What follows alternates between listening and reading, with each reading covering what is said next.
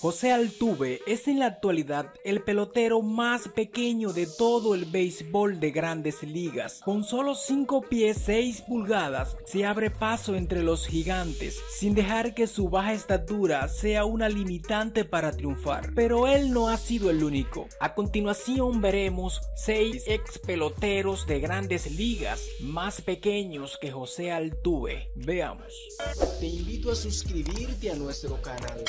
Número 6. Rabbit Merenville llegó a la MLB en 1913. Fue un tremendo defensor y uno de los más pequeños campocortos de todos los tiempos, con una altura de 5 pies 5 pulgadas. Rabbit acumuló más de 2.600 hits en su larga carrera de 23 años, incluso ganador de un título de la Serie Mundial en su segunda temporada.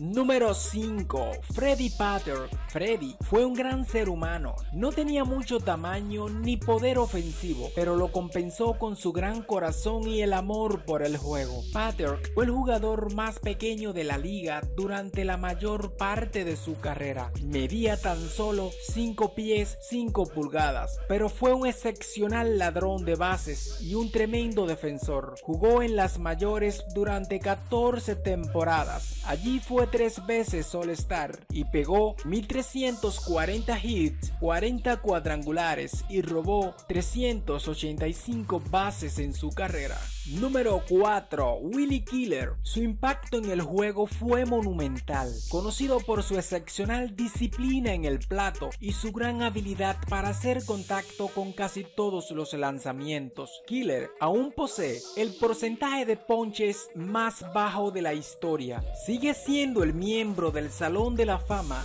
de menor estatura de todos los tiempos, con tan solo 5 pies 4 pulgadas. Jugó por espacio de 19 temporadas en las mayores, logrando 2.932 hits y un abismal promedio de bateo de 341. Número 3. Pompeyo Yoyo Davalillo. Este señor es conocido tanto por ser el cuarto jugador venezolano en llegar a las grandes ligas como por ser uno de los más pequeños jugadores de la historia del juego, ya que medía 5 pies 3 pulgadas y pesaba 100 40 libras. Su nombre era Pompeyo Antonio Davalillo, pero sus compañeros de equipo le dieron el nombre de Yoyo. En 19 juegos de carrera, Yoyo acumuló un respetable promedio de bateo de 293 y dos carreras impulsadas. Número 2. Stobie Magner. Magner jugó para los Highlanders de Nueva York en 1911, a pesar de que tenía una estatura de 5 pies 3 pulgadas. Su carrera de grandes ligas no duró mucho, solo apareció en 13 juegos y pegó 7 hits en 33 turnos al bate durante la temporada de 1911, pero el impacto de su presencia se sintió durante décadas después de su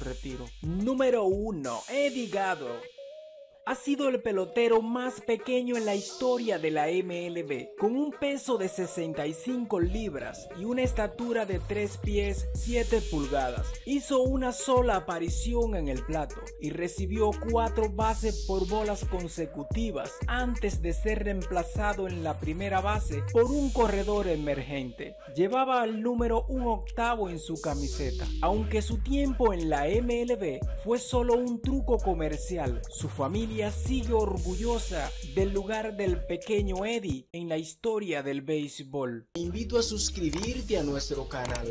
Dale like si te gustó el video o dislike si no te gusta. En la descripción de este video te dejo mi cuenta de Instagram para que forme parte de esa comunidad